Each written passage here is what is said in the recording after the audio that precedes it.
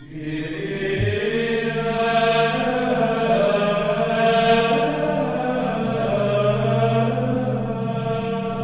the name of the Father, and of the Son, and of the Holy Spirit. The Lord be with you. Good morning, brothers and sisters. We offer this Mass for the eternal rest of Charles Tyndall. Let us prepare ourselves to celebrate the sacred mysteries by acknowledging our sins before the presence of the Lord.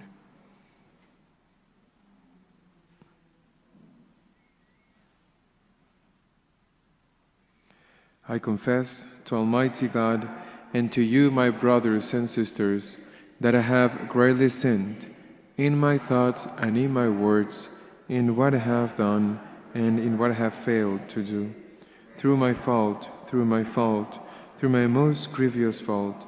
Therefore I ask Blessed Mary, ever Virgin, all the angels and saints, and you, my brothers and sisters, to pray for me to the Lord our God. May Almighty God have mercy on us, forgive us our sins, and bring us to everlasting life. Amen. Lord, have mercy.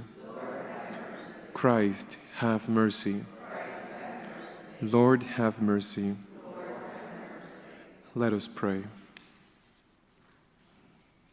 O God, who reward the merits of the just and offer pardon to sinners who do penance, have mercy, we pray, on those who call upon you that the admission of our guilt may serve to obtain your pardon for our sins. Through our Lord Jesus Christ, your Son, who lives and reigns with you in the unity of the Holy Spirit, one God, forever and ever.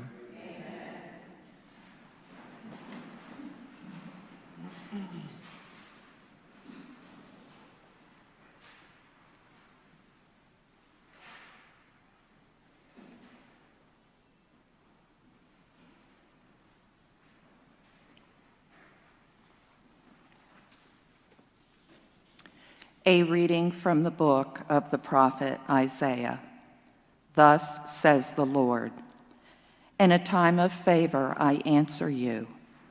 On the day of salvation, I help you. And I have kept you and given you as a covenant to the people to restore the land and allot the desolate heritages, saying to the prisoners, Come out, to those in darkness, Show yourself. Along the ways they shall find pasture. On every bare height shall their pastures be. They shall not hunger or thirst, nor shall the scorching wind or the sun strike them. For he who pities them leads them and guides them beside springs of water. I will cut a road through all my mountains and make my highway level. See, some shall come from afar, others from the north and the west, and some from the lands of Syene. Sing out, O heavens, and rejoice, O earth.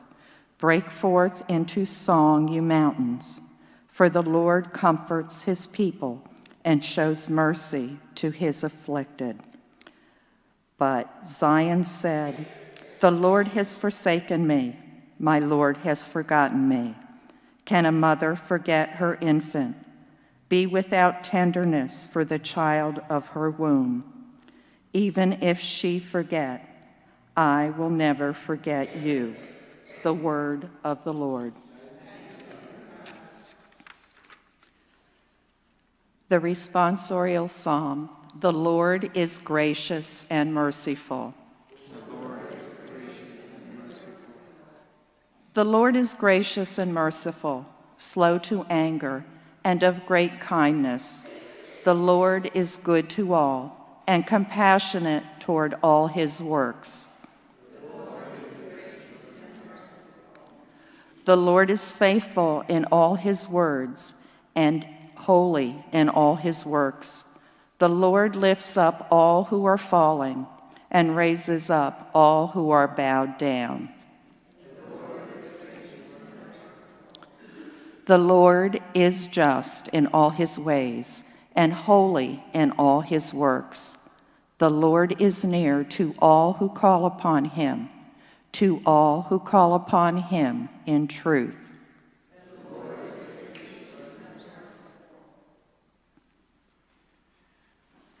Praise to you, Lord Jesus Christ, King of endless glory. Praise to you, Lord Jesus Christ, King of endless glory. I am the resurrection and the life, says the Lord. Whoever believes in me will never die. Praise.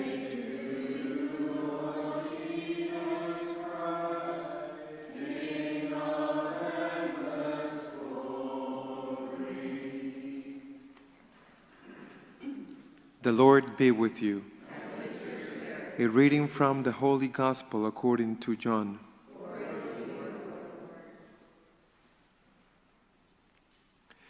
Jesus answered the Jews, My Father is at work until now, so I am at work. For this reason, they tried all the more to kill him, because he not only broke the Sabbath, but he also called God his own Father, making himself, making himself equal to God.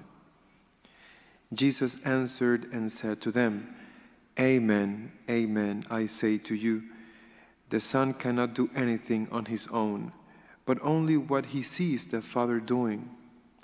For what he does, the Son will do also.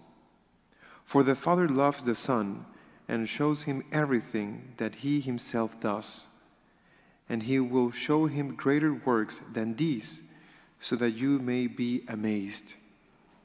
For just as the Father raises the dead and gives life, so also does the Son give life to whomever he wishes.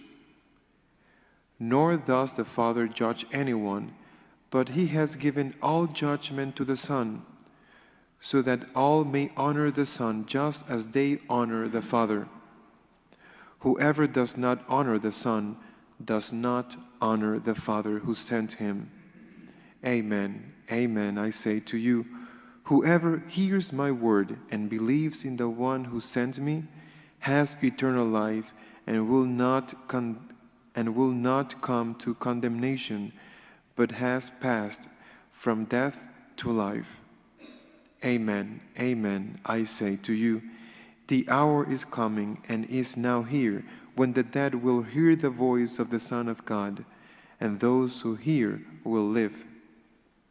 For just as the Father has life in himself, so also he has so also he gave to the Son the possession of life in himself.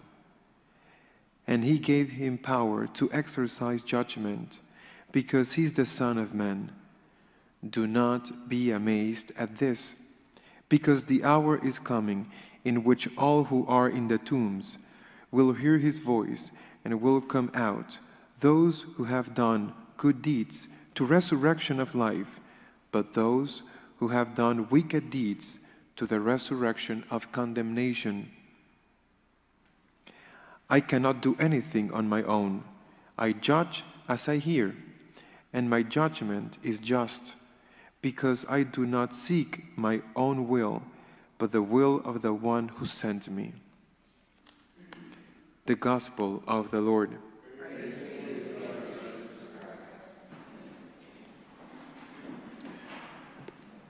Today we see why Jesus was persecuted and killed by the scribes, the Pharisees, the Jews, because he proclaimed himself as the Son of God.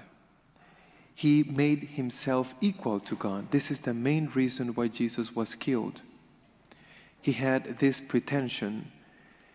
And when he said, My Father is at work until now, so I am at work, and the Pharisees or the Jews realized that he was making himself equal to God, Jesus did not say, Don't misunderstand me.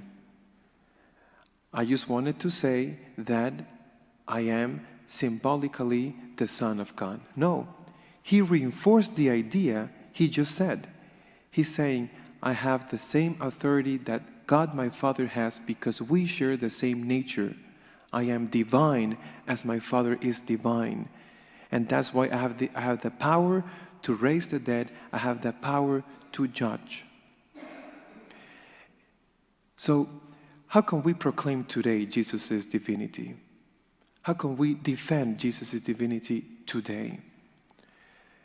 Currently, we can do so by defending his doctrine, by not compromising his doctrine.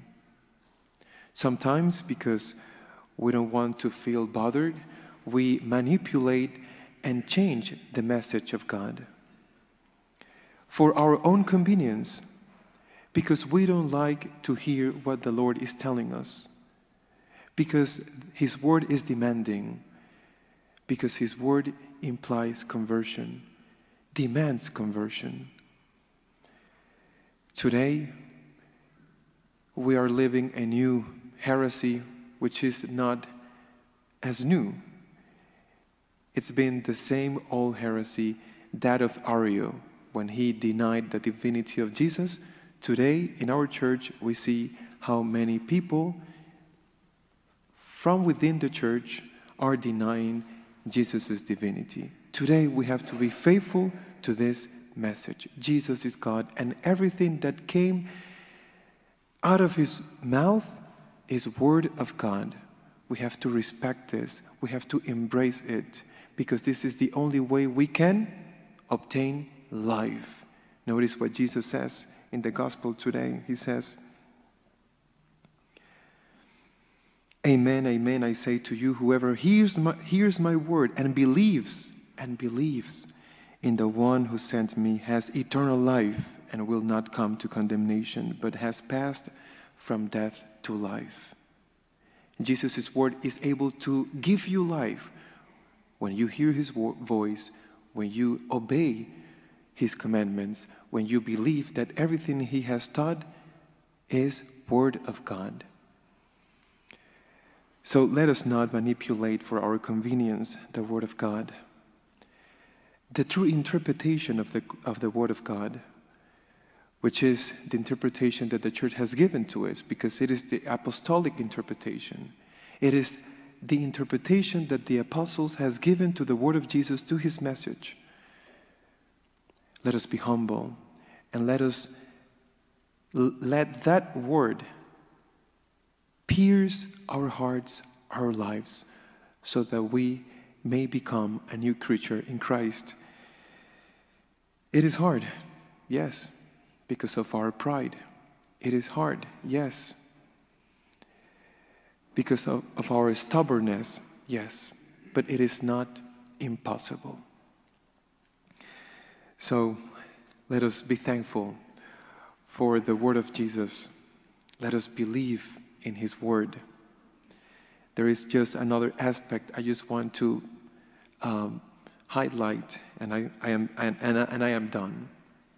Jesus is saying to us, there is a judgment. And the dead who hears his voice at his second coming will receive life and they will have a resurrection to life. But those who, did wicked deeds will rise to a life of condemnation. Well, we have to say this we cannot um, hide this part of the message. Let us pray in silence.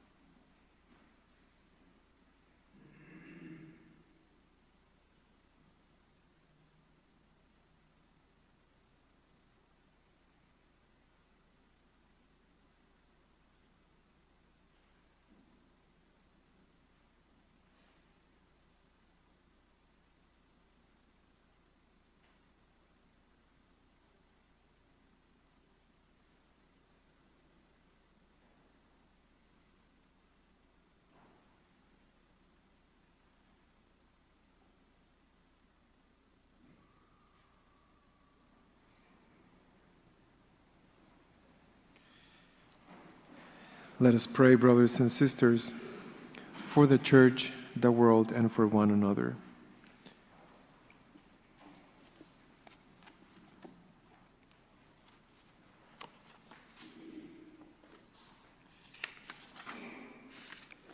For our leaders of the church, that like the divine shepherd, they may guide, they may guide God's people to good pasture and living water with compassion and truth. Let us pray to the Lord. Lord, hear our prayer. For our leaders in the world, that the distress of present conflicts may impel them to turn with greater determination to find every possible to find every way possible to create and preserve peace. Let us pray to the Lord. For mothers who have been without tenderness for the children in their womb, that they may come to a change of heart. Let us pray to the Lord.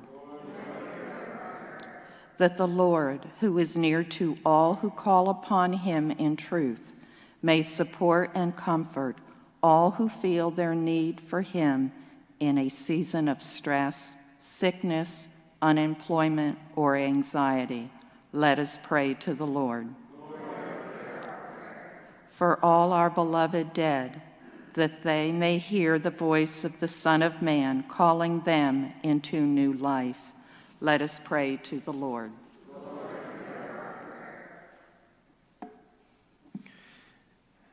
God of heaven and earth, hear our prayer and grant what we humbly ask you through Jesus Christ our Lord. Amen.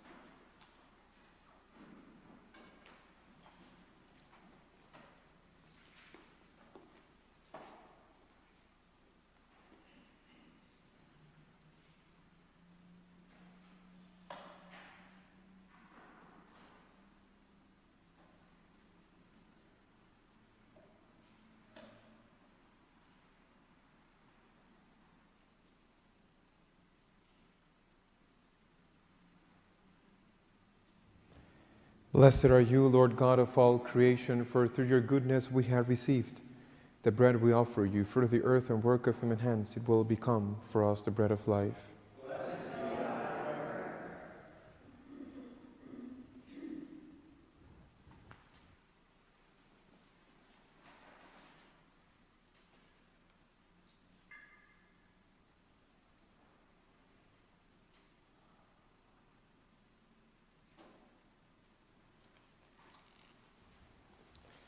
Blessed are you, Lord God of all creation, for through your goodness we have received the wine we offer you. For the vine and work of human hands, it will become our spiritual drink.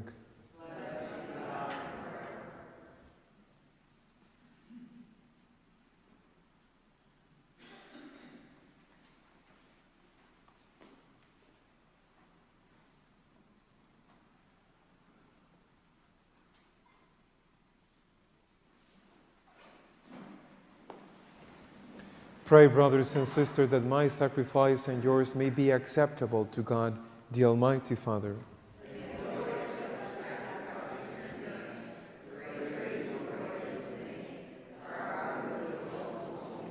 May the power of this sacrifice, O Lord, we pray, mercifully wipe away what is old in us and increase in us grace of salvation and newness of life. Through Christ our Lord. The Lord be with you. Lift up your hearts. Let us give thanks to the Lord our God. It is truly right and just, our duty and our salvation, always and everywhere, to give you thanks, Lord, Holy Father, Almighty and eternal God, For you will that our self denial should give you thanks, humble our sinful pride, contribute to the feeding of the poor, and so help us imitate you in your kindness. And so we glorify you with countless angels, as with one voice of praise we acclaim Holy, holy, holy, Lord God of hosts, heaven and earth are full of your glory. Hosanna in the highest. Blessed is he who comes in the name of the Lord. Hosanna in the highest. You are indeed holy, O Lord, the fount of all holiness. Make holy, therefore, these gifts, we pray, by sending down your Spirit upon them like the dewfall, so that they may become for us the body and blood of our Lord Jesus Christ. At the time he was betrayed and entered willingly into his passion, he took bread and giving thanks, broke it and gave it to his disciples, saying, Take this, all of you, and eat of it, for this is my body, which will be given up for you.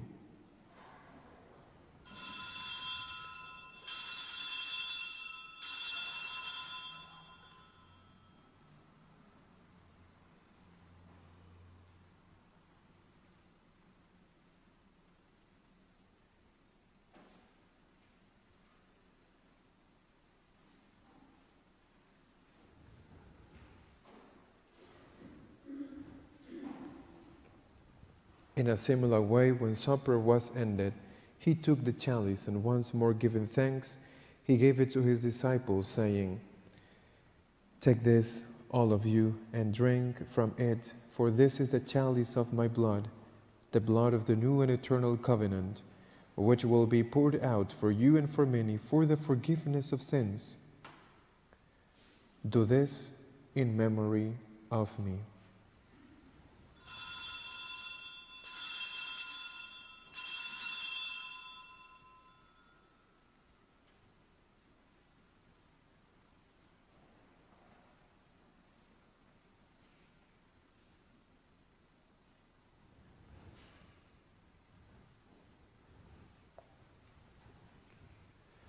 The mystery of faith.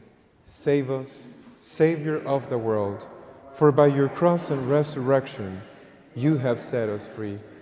Therefore, as we celebrate the memorial of his death and resurrection, we offer you, Lord, the bread of life and the chalice of salvation, giving thanks that you have us worthy to be in your presence and minister to you.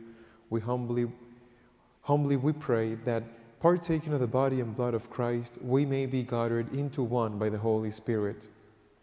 Remember, Lord, your church spread through all the world and bring her to the fullness of charity together with Francis our Pope and Charles our Bishop and all the clergy. Remember also our brothers and sisters who have fallen asleep in the hope of the resurrection and all who have died in your mercy. Welcome them into the light of your face.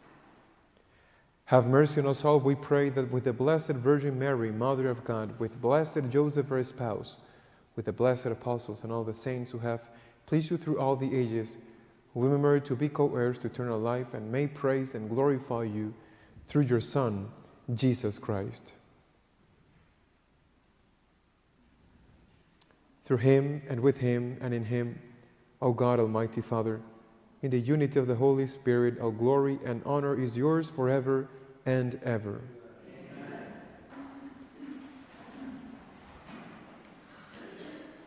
Amen. The consequence that Jesus suffered for saying what he said, that he was of the same nature of God his Father, the consequence was persecution was that he was killed. And we have to be able to suffer the same, the same consequence. When we defend Jesus' divinity, when we are faithful to his message, we have to be able to praise the, the, pay, the, pay the price for being faithful to his divinity. I just read that one of the bishops in Spain is, is being um, persecuted for defending the truth. So that's the price we have to pay. Let us ask the Lord the strength to be faithful to Him and let us be thankful for telling us the truth. Let us say the prayer Jesus taught to us. Our Father, who art in heaven, hallowed be thy name. Thy kingdom come, thy will be done, on earth as it is in heaven. Give us this day our daily bread, and forgive us our trespasses, as we forgive those who trespass against us.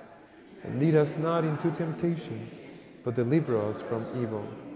Deliver us, Lord, we pray, from every evil. Graciously grant peace in our days, that by the help of your mercy we may be always free from sin and safe from all distress as we await the blessed hope and the coming of our Savior, Jesus Christ. Lord Jesus Christ, who said to your apostles, Peace I leave you, my peace I give you, look not on our sins, but on the faith of your church, and graciously grant her peace and unity in accordance with your will who live and reign forever and ever. Amen. The peace of the Lord be with you always.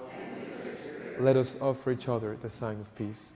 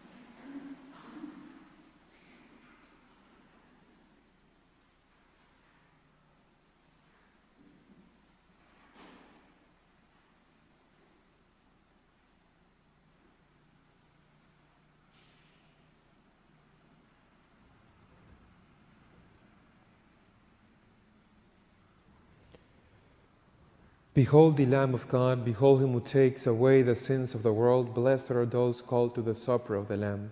Lord, I am not worthy that you should enter under my roof, but only say the word, and my soul shall be healed.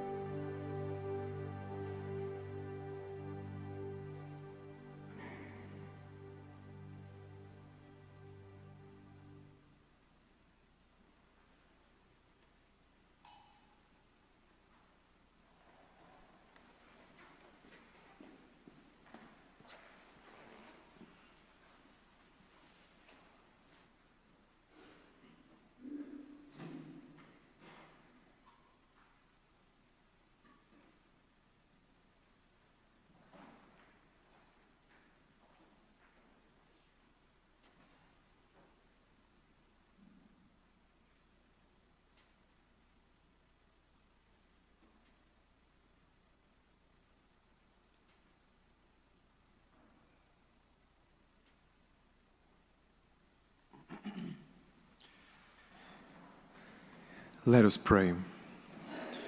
May your heavenly gifts, O Lord, we pray, which you bestow as a heavenly remedy on your people, not bring judgment to those who receive them through Christ our Lord. The Lord be with you. Kneel or bow your heads.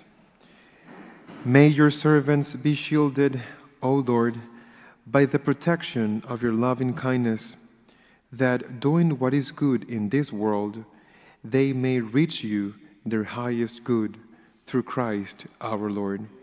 May Almighty God bless you, the Father, the Son, and the Holy Spirit. The Mass is ended. Go in peace. Hail Mary, full of grace, the Lord is with thee. Blessed art thou among women, and blessed is the fruit of thy womb, Jesus.